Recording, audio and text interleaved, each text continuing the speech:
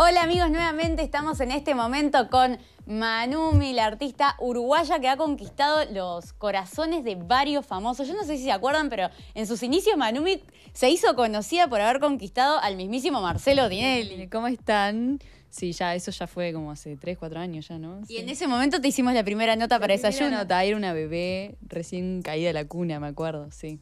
¿Y cuánto creció Manumi en, estos años desde ese primer show que, aparte me acuerdo que estabas como, como achicadita, porque claro, era de tus primeras presencias en los escenarios? Sí, em, un montonazo.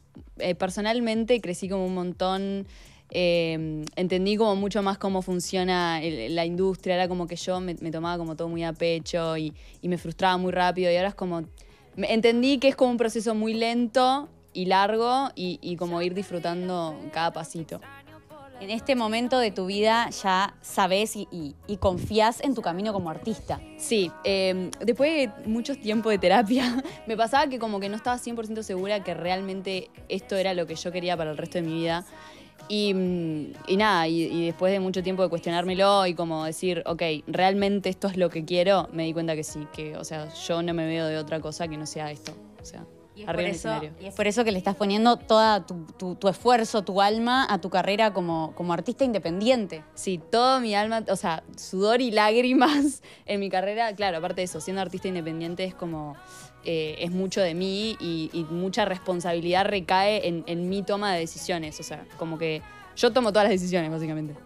Hay veces que uno entiende que el artista es el que va, pone la cara, canta, pero hay mucho trabajo atrás de eso. Está toda la composición, el proceso, también la inversión, ¿no? De sacar un tema no es, no es bueno, lanzo un tema y ya está, sino es, hay que hacer un videoclip, tiene que sonar en plataformas, hay que subirlo a, determinados lugares, hay que hacer arte, hay que hacer maquillaje, estilismo. Sí, obviamente hay un trabajo muy grande de muchas personas. Por ejemplo, ahora estamos en el estudio en el, que grabo las canciones, Buena Club. Y bueno, los chicos del estudio me ayudaron un montón. Yo este año, en un momento como que dije, ok, realmente quiero darlo todo en esto y, llamé a los chicos y les dije, please, necesito ayuda. Me pasaba que como antes me encargaba 100% de hacer todo y me di cuenta que necesitaba como otras visiones, otras, eh, otras cabezas pensando y les propuse a los chicos venir y ellos me dieron una mano enorme y empecé a, componer con otros artistas, que eso también me di cuenta que era vital. Bueno, eso ya hablaremos. Eh, y, bueno, también eso, a la hora de, crear un videoclip eh, necesitas eh, gente que te ayude con el arte, que filmen, maquillaje. Y toda esa gente, quieras o no, al final quizás la gente como no lo ve tanto, pero o sea, cada pedacito es vital para el producto final.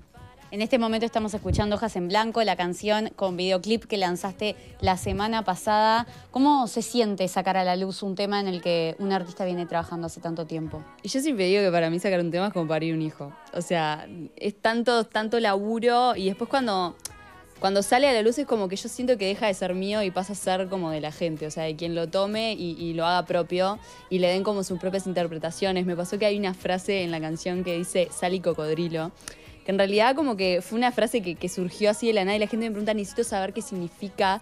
Es tipo, dale la interpretación que quieras. Y le han dado interpretaciones totalmente muy diferentes. Y eso es lo que, o sea, lo que al fin y al cabo es como la misión de cuando uno saca un tema.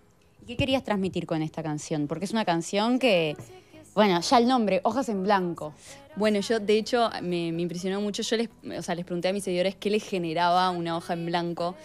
Y mm, a mí me pasó durante mucho tiempo que enfrentarme a la hoja en blanco era como, me daba pánico, porque me costaba un montón sentarme a escribir y, sentía como la presión de que tenía que hacerlo y eso me bloqueaba completamente, entonces me empecé a tener literalmente fobia a la hoja en blanco. Y durante mucho tiempo fue algo como, fue uno de mis peores enemigos. Y, mm, y bueno, surgió esta idea de hacer esta canción y, a mí se me vino como esa imagen de la hoja en blanco y le dije a los chicos, necesito poner la hoja en blanco en esta canción. Y bueno, al final terminó siendo como el lema de la, canción y hoy en día como que me lo tomo más como una hoja en blanco es un nuevo comienzo, es un mundo de posibilidades, em, lo veo como, tiene como más una connotación positiva. Y cuando le pregunté a mis seguidores fue eso, como que mucha gente me dio como esa connotación negativa y mucha gente como esa connotación positiva de algo tan simple que es una hoja. Me encanta. Y en el videoclip a vos se te ve como con una nueva versión tuya, no, no como acostumbramos a verte. Sí, yo lo que quería transmitir como era una... Siento que estos dos últimos dos años cambié muchísimo yo como, como persona personalmente y quería como a través de nueva música eh, marcar como ese cambio y dije, quiero hacer algo completamente distinto, un estilo totalmente a algo que yo no soy. Em, más de personaje. Claro, más un personaje y, bueno, si ven el videoclip se dan cuenta que estoy completamente distinta, trenzas, eh, un estilismo muy distinto a lo que yo soy en mi día a día. Y contame, ¿cómo fue para vos en el 2019 ser artista invitada de, Luciano Castro en... Eh, de Luciano Luciano Pereira, perdón. Es que es muy famoso también Luciano Pereira y se me, y se me, fue, se me confundieron los cables. Luciano Pereira en el Antel Arena que abriste su show. Eh, fue muy tremendo, o sea, a mí me, llena pila el hecho de que artistas tan grandes como tengan ese corazón de decir, bueno, te doy este espacio a vos porque yo estuve en tu lugar y y quiero que vos también tengas la posibilidad. Eh, fue muy lindo, muy, o sea, me, crecí un montón después de todo eso.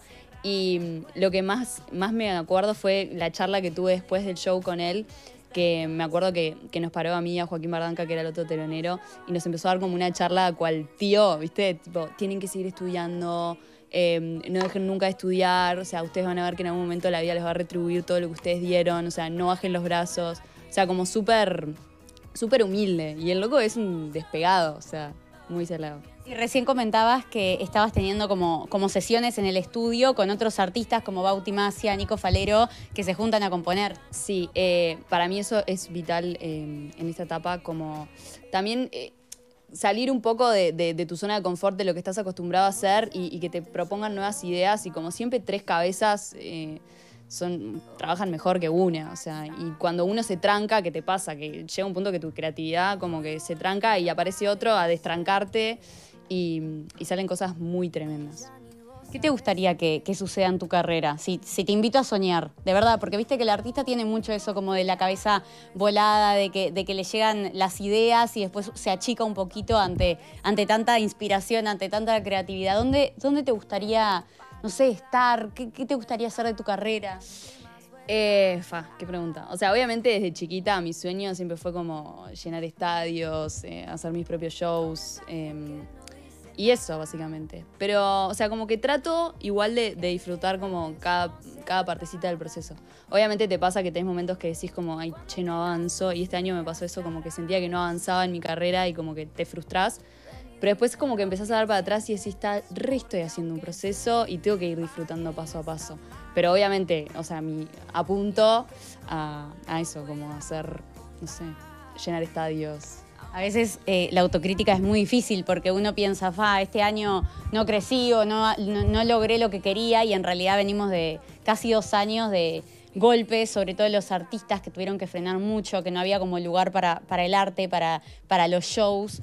Eh, y yo personalmente que te conocí a través de, del gran, bueno, de la gran exposición que te dio Tinelli en su momento, de verdad pienso que creciste un montón y que hoy, ante todo, ¿no? Ante el escenario, ante los shows, cómo cambiaste como artista al sentarte acá en una nota, todo. Y, te felicito porque me parece que sí estás creciendo y que sí vas a seguir creciendo mucho más. Así que me muero por escucharte cantar. No sé, no sé qué no querés cantar.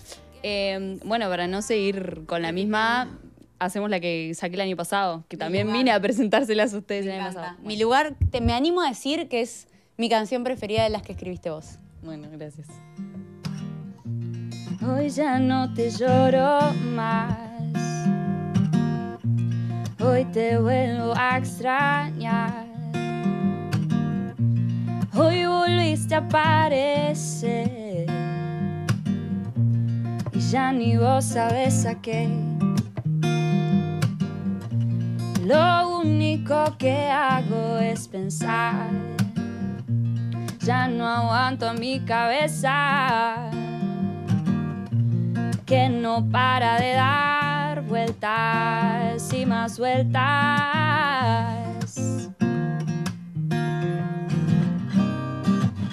Otro mensaje que no dice nada que me deja desconcertada.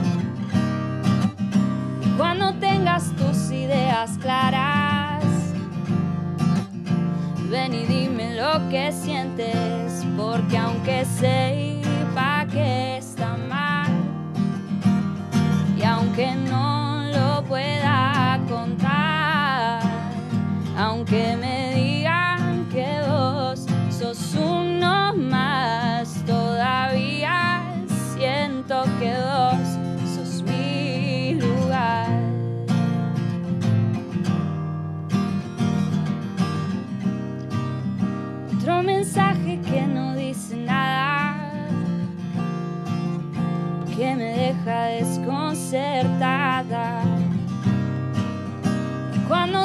estrellas claras.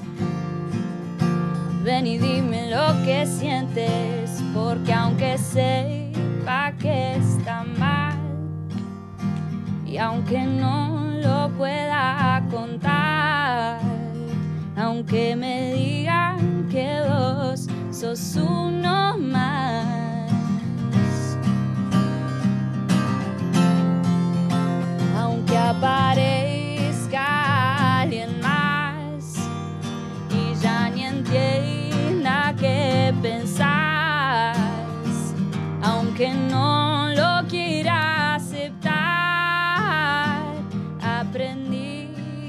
Donde estoy yo es mi lugar.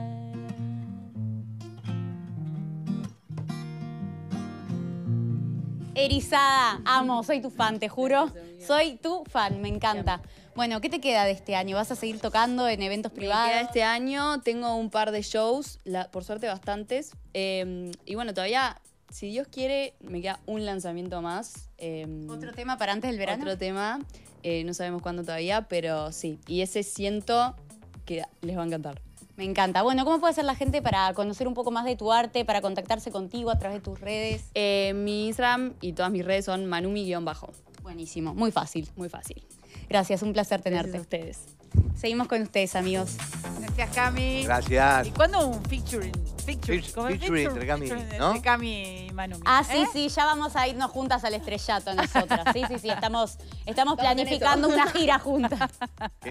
Divina las dos. Bueno, un beso, Beso grande. grande. Chau, chau. Chau, chau. Germán de Cappuccini tiene nuevas promos.